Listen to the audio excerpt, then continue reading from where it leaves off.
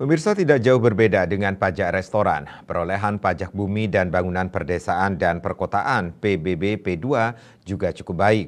Bahkan hingga kini capaian pajak ini telah mencapai 59 persen dari target tahun ini yakni 97 miliar rupiah.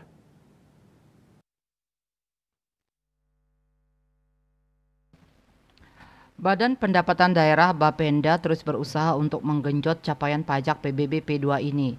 Salah satunya dengan membuka loket baru untuk antisipasi penumpukan wajib pajak di akhir batas pembayaran 31 Agustus 2023 ini.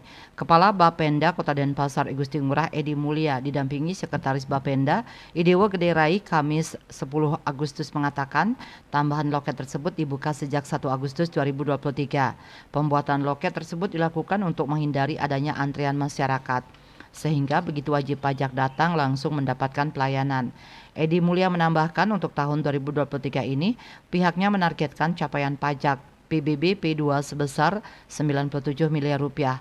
Sementara itu, Sekban Bapenda Idewo Gederai menambahkan, selain konter yang sudah ada, wajib pajak juga bisa memanfaatkan kanal digital untuk melakukan pembayaran pajak PBB P2.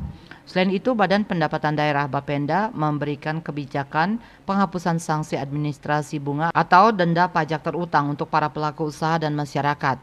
Kebijakan yang berlangsung sejak 1 April 2023 dan akan berakhir 31 Agustus 2023. Pemberian keringanan pajak ini dilaksanakan untuk meningkatkan penerimaan pajak serta terobosan dalam bentuk insentif fiskal pajak daerah untuk mendukung pertumbuhan perekonomian daerah sehingga secara berkelanjutan dapat mendukung pembangunan daerah yang berkelanjutan.